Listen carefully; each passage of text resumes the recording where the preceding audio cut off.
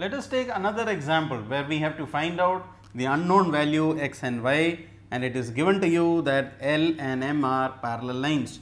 So, L and M are parallel lines and we have to use the properties of parallel lines and angles to find out the values of x and y. So, what are these unknown values x and y? What is given to us is that this angle here is 100 and this angle here is 80 degrees.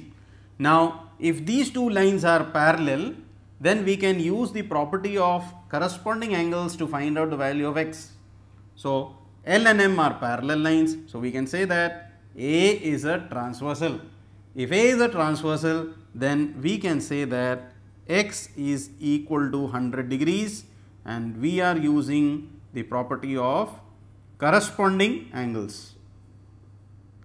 So, x is equal to 100 L parallel to M this is the transversal. So, these are the corresponding angles corresponding angles are equal. So, we can say x is 100 that is the first part of the question. Now, the second part also asks us to find out this unknown value that is y. So, how do we find y? See here x and y are lying on a straight line on this line M and we know that when two angles lie on a straight line that is called a linear pair and linear pair total will always give us 180. So, we can say that x plus y is equal to 180. We are using the linear pair property and we will substitute the value of x because x value we have already found out and that value is 100.